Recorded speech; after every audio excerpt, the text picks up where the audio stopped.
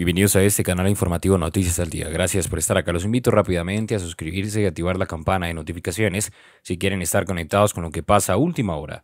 Medvedev desvela la peligrosa táctica de Rusia. El mandatario ruso confirma que el país está produciendo a marchas forzadas nuevos medios de destrucción más poderosos. No olvide dejar un comentario en este video y un me gusta también para apoyarnos. Muchísimas gracias. Nuevas declaraciones, esta vez de Dmitry Medvedev. Vicepresidente del Consejo de Seguridad ruso ha sacudido la actualidad del conflicto al emitir unas declaraciones en las que confirmaba que Rusia se encuentra en un proceso de producción de las más poderosas armas de destrucción para enfrentarse al bloque occidental.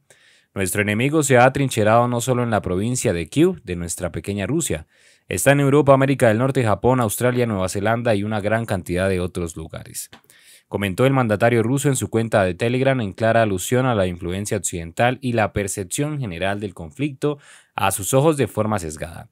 El enemigo está en nuestras fronteras. En esta línea afirmó que el país liderado por Putin ha aumentado la producción de los medios de destrucción más poderosos.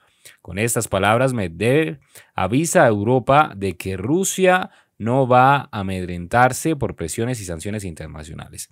Por otro lado, Medvedev también tuvo unas palabras dirigidas al secretario del Consejo de Seguridad Nacional y Defensa de Ucrania, quien en la noche de ayer advirtió en la cadena de televisión que Ucrania está preparada para defenderse y que son capaces de todo para lograr tal fin. Además, tildó al mandatario ucraniano de pseudo ucraniano con apellido ruso. ¿Qué opina de esta información? Nuevamente los invito a suscribirse. Gracias por estar acá. Noticias al día a nivel internacional y para usted le quiero preguntar eh, cuál, es cuál ha sido el principal detonante. Bien, evidentemente estamos frente a una tasa de inflación eh, que no habíamos experimentado en mucho, mucho tiempo. Aquellos de nosotros que peinamos canas o menos canas, recordamos, por supuesto, eh, la inflación de los años 80, que realmente fue peor que esta, pero desde entonces en eh, la mayoría de los países, eh, digamos, no ha habido tasas de inflación tan altas. Eh, no voy a mencionar el caso de Venezuela, el caso de Argentina y algunos más que tienen características muy, digamos, endémicas. Voy a dejar estas de lado. Evidentemente, la inflación que vivimos hoy eh, que los economistas a nivel macro eh, eh, tratan de reducir es tremendamente negativa para toda la población y fue causada, aunque le echan la culpa de alguna manera a, a, la guerra de Ucrania que tuvo, o, la guerra, la invasión de Rusia a Ucrania, eso ha tenido mucho que ver, pero también venía de antes porque en el año 2020, cuando tuvimos esta caída tan brutal en la economía, eh, las maquinitas impresoras de billetes, si puedo ponerlo de esta manera, eh, funcionaron muy fuertemente en Estados Unidos, en Japón, en Europa y menos en, eh, eh, en nuestros países, digamos en América Latina. Pero eso todo se acumuló, eh, pero realmente pasó a ser gravísimo durante, durante este año. la inflación a nivel mundial se espera que llegue en el año 2022 a casi 10%.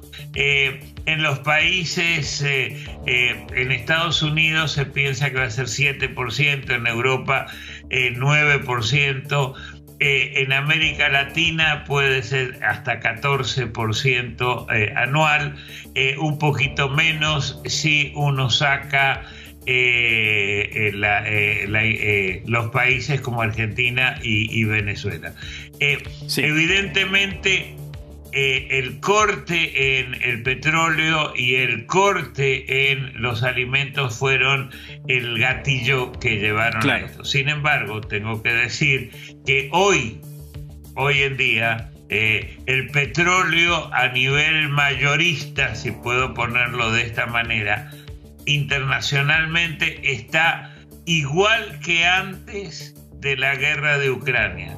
Hemos visto alguna reducción y yo creo que esto eh, va a tener un efecto positivo. Y para terminar la idea, por supuesto está todo el tema que eh, los bancos centrales, que son los malvados en esta situación, junto con el Fondo Monetario Internacional, pero que son los que los dentistas que ayudan a solucionar el dolor, eh, han trabajado muy fuerte y eh, están ayudando a reducir la inflación. Claudio, y se suma a nuestra conversación nuestra cronista de economía, Daniela Blandona. Daniela, tiene usted la palabra. Hola Claudio, un placer saludarlo de nuevo. Igualmente Daniela. bueno, pues precisamente sobre ese punto que usted mencionaba de los bancos centrales, da la sensación o, es bueno explicarle a la gente que las decisiones que toman los bancos centrales no tienen un efecto inmediato, porque eh, acá, por ejemplo, le voy a dar un ejemplo, Colombia, tenemos una inflación altísima tasas de interés altísimas y todavía no se ve cómo esa inflación empieza a bajar a pesar de que las tasas están subiendo. ¿Cómo hacer para entender este fenómeno de que eh, nos están poniendo tasas más altas pero la inflación no baja? Bueno, eh, eh, yo haría un paralelo no técnico que saqué recién. hablé del dentista, es muy feo hablar de eso, que no, los bancos centrales son como los dentistas o como los eh, cirujanos. Tienen que operar, pero el efecto primero es dolor y solamente después de algunos meses uno ve el resultado. Y es terrible, o sea, eh, es muy difícil entender, incluso eh, para los economistas que dicen, bueno, hay que hay que eh, ir al Banco Central, subir las tasas de interés. Esto, por supuesto, va a hacer más costoso los préstamos. Esto puede mejorar nuestra moneda, pero es difícil a veces entender cuánto demora el proceso. Se piensa que entre seis meses y un año. Es mm. terrible, pero es fundamentalmente lo que eh, la forma que funciona hay que tener paciencia, lamentablemente, y apoyar a aquellos países o aquellas, eh, eh, digamos, grupos de la población que son más afectados.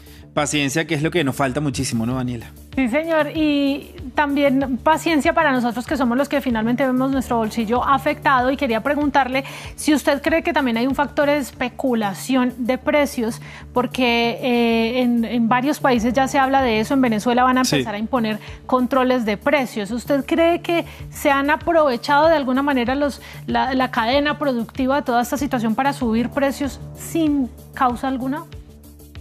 Eh Mire, yo como eh, argentino nativo tengo que decir de que eh, eh, por experiencia no profesional, sino personal, de que...